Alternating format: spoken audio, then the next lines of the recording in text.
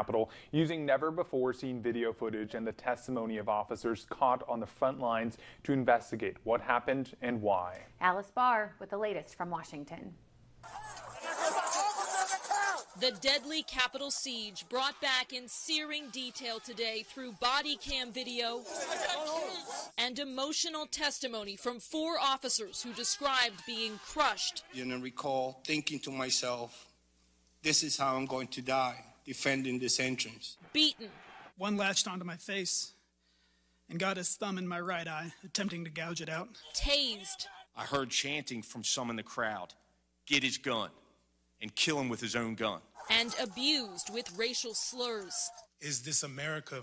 The U.S. Capitol and D.C. Metropolitan Police officers testifying in the first hearing for a House panel investigating the January 6th insurrection. This threat hasn't gone away. It looms over our democracy like a dark cloud. Just two Republicans sit on the committee after heated partisan infighting, GOP leadership denouncing it as politically motivated. We must know what happened here at the Capitol. We must also know what happened every minute of that day in the White House. Today, the officers rebuked Republicans who've downplayed the attack, saying they went to hell and back to protect them. Too many are now telling me that hell doesn't exist or that hell actually wasn't that bad. The indifference shown to my colleagues is disgraceful.